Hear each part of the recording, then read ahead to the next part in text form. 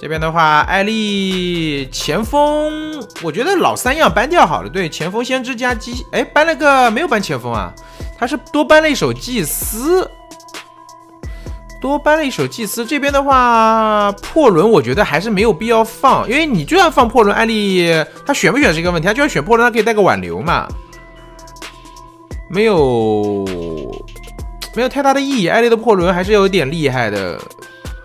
我觉得搬一个邦邦，然后再搬一个破轮，或者搬邦邦搬你放破轮的话也行，他也不一定会选搬邦邦搬红夫人吧，争一个多跑，能不能四跑再说，先争一个多跑，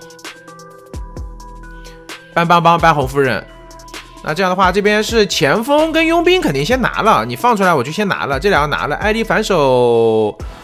搬的话，我觉得病患可以搬。呃，雕刻家艾丽会不会选？我觉得他不会选了。上一局雕刻家打的真有点辛苦啊，所以说艾丽可能会考虑打一些别的使徒啊、鱼女啊、呃宝瓶，奔着宝瓶去打。这边的话，佣兵前锋应该没什么问题吧？这两个大哥不拿。拿昆虫要打一些战术，那我不客气了呀。佣兵这边搬掉了，我觉得佣兵不拿优先级，昆虫有这么高吗？艾丽挺开心的。那后续后续的话，这边病患先拿了，位移要病患拿了，再拿一个上戏的邮差。但你知道这这如果拿一个病患拿个邮差呢？这套阵容其实针对雕刻家打倒是确实不错，但人家不一定会拿雕刻家呀。对不对？这边昆虫妨碍哭鬼，有观众说，我觉得防不妨碍哭鬼，妨碍哭鬼，防雕刻家，这个优先级我觉得还是没有前锋来啊，不没有佣兵来的高吧？这么说也可以啊，但是被佣兵被搬掉还是蛮亏的。因为你就算是能够算到对面打的是爱哭鬼的话，这边佣兵前锋线一抢，后续补一个空，在这边空军加一个心理学家，那这套阵容还是两边都防了的啊。心理学家防单刀型监管者，然后空军的话相当于防一手那个使徒那种手艺强的，然后昆虫学者这边来防住爱哭鬼。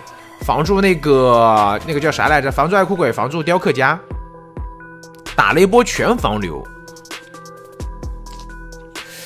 嗯，这套阵容打雕刻家其实比较难争胜的，因为上来如果空军跟心理学家被抓，他不像上一局的那个雕刻家啊，上一局的雕刻家那套阵容真的就感觉为雕刻家量身定制。非常非常的舒服，中间祭司呢往那边一站，一个传送雕刻家都不知道如何抓人。艾绿这句话，我觉得他应该是要么底牌挽留，要么封窗挽留，二选一，然后带个闪现，稳稳的前期击倒一个人挂上。求者这套阵容，但凡那个心理学被抓挂上，外面机子其实修的也不是特别快的，甚至感觉有点慢，机子拖不完，挂飞一个以后闪现挽留再留一个就可以了。对于艾丽来讲，保平就可以了。啊，对于艾丽来讲，保平就可以了。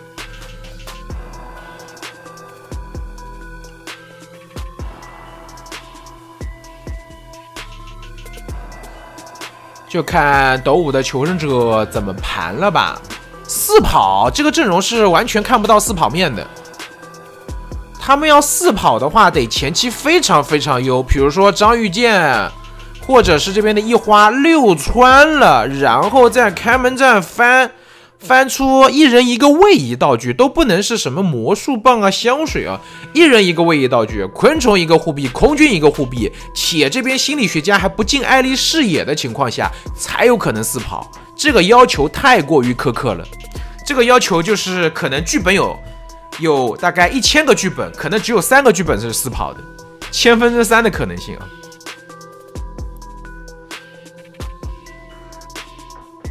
来，我们来看一下这边的开局怎么样？最大的难点就是这个心理学家如何不进艾丽的视野，因为心理学家他捡不了道具，开门战在一个有挽留，哎，艾丽带的是个金身。说实话呢，这个金身有点没必要啊。他金身，如果说艾丽这局要去争胜的，我觉得这个金身带的挺好的。为什么呢？因为你这边奔着争胜去，金身打个出其不意，打到节奏了就往赢面去了。但是艾丽其实不用这么拼嘛，我觉得带个那个闪现会更好一点啊。这边的话，昆虫应该是过来了，昆虫应该是要来封口，看有没有机会能封口。好的，封住，这样的话卡着这个点，等等，大家注意一花一花这边要先看清楚，怕被反绕，看清楚然后再走，很细节。因为当时艾丽这边被拦住以后，他可以反绕过来，如果你这边翻出来以后刚好撞在脸上面，这一波拖得很不错。但是昆虫的虫子也消耗了很多，距离的话其实也没有拉得特别开。艾丽这边还是雕像封住口子，那这边吃一刀往里一翻，前锋这边要来撞一波吗？跟进去，前锋应该是来了。来的话顶金身吗？哎呦，波波这一波被绕开了。那这样的话还不知道艾丽到底带的是什么天赋呢？昆虫再来挡，昆虫再来挡。待会儿这边的话，一花这边一定要给到队友信息，就是在一些交互点上面能闪现，而艾丽没有闪。一定要给到信息，他绝对不能吃雕像岛，绝对不能吃雕像岛。好的，这把的话有一说一，上戏的昆虫还是非常给力的。这边投坟场看到了，距离拉得非常开。波波这边如果再撞的话，可能金身就一刀顶上来了。波波这边大家注意，波波也是提前走了，他也没敢撞，他也没敢过来。可以可以，这波不能不能来帮忙保撞，保撞的话就挂前锋了。哎呦，这个雕像漂亮，可以。大老师给了非常高的一个四抓率啊，这边先把前锋摸满，搏命的话只有前锋一个有，这边是个地下室。这如何来运营出一个四人开门战呢？不太可能了，因为刚刚也给大家讲到了，就雕刻家啊，不是心理学家捡不了道具的。呃，你要把这个心理学家保活，面对一个金身雕刻家是不太可能。他如果是个闪现呢，那前锋神发挥，空军补一枪，还有话可说，还有话可说。现在的话，前锋就卡着吧，外面考虑什么呢？往后盘嘛，先把这个三人开门战找机会打出来，然后再去运营，再去翻箱子，看看能不能三人开门战争个三跑。啊，看看能不能三人战开门战整个三跑，慢慢来求稳啊，慢慢来求稳，慢慢打嘛。卖掉是最好的，卡死就一波也行，但是看艾丽给不给这个机会了。如果说不给机会，硬冲进去，那就是给艾丽二阶。现在艾丽没有到二阶，他一个金身的话，没有没有太好的一个击倒能力的啊。他他金身的话，这边的话击倒并不是那么快的，所以求生者慢慢的去盘，卖掉这个心理学家是最好的选择了。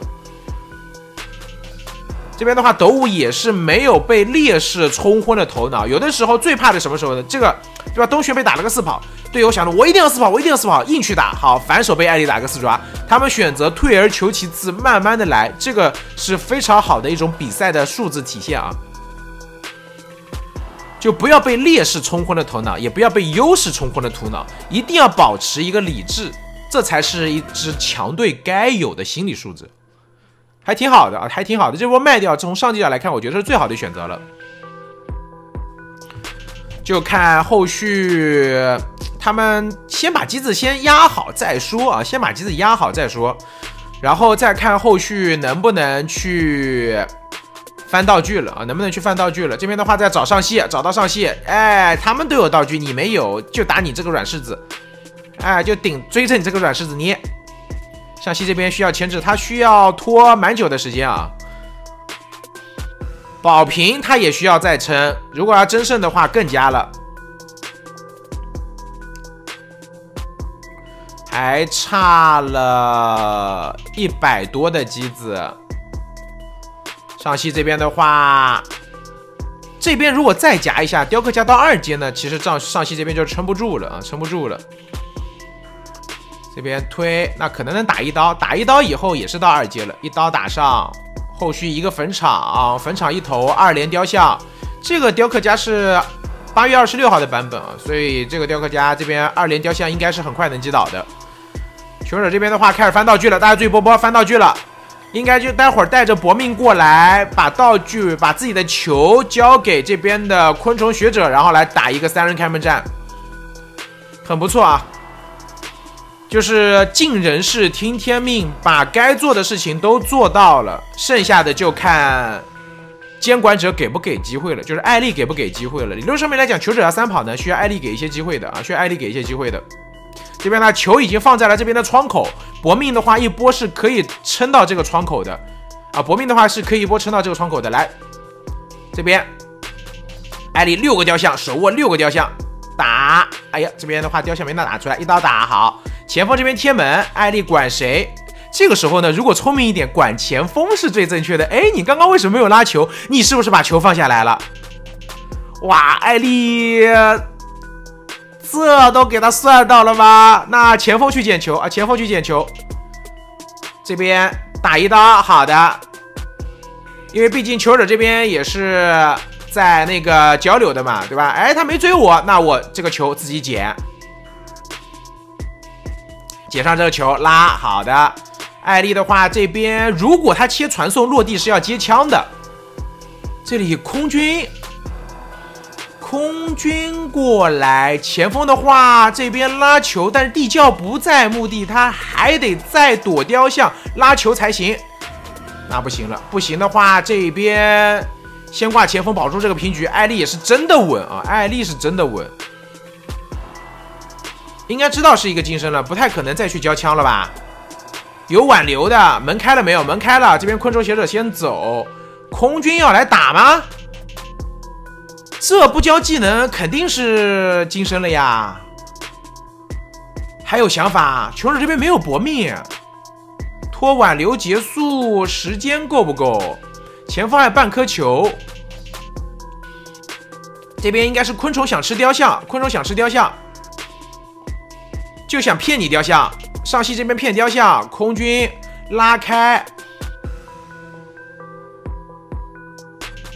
还要拖，打不了吧？没搏命，我觉得哦，空军有搏命，不好意思，我看错了，空军是有搏命的，捞一刀，哎呀！